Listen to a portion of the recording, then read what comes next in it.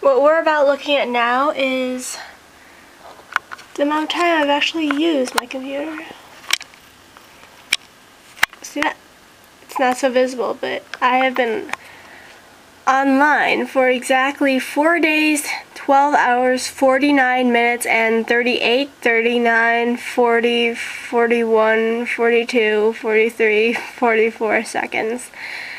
I'm pretty sure that's an understatement as to how long I've exactly been on this computer since my wireless tends to die and then reconnect by itself. So hence, say this computer has probably been on for about two weeks now.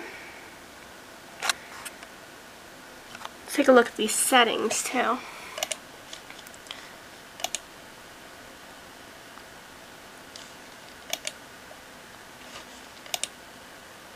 If we go on to display,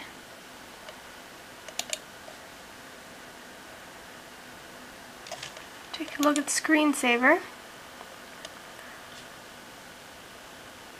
Oops, only has a screensaver. Doesn't exactly go to sleep. So yeah.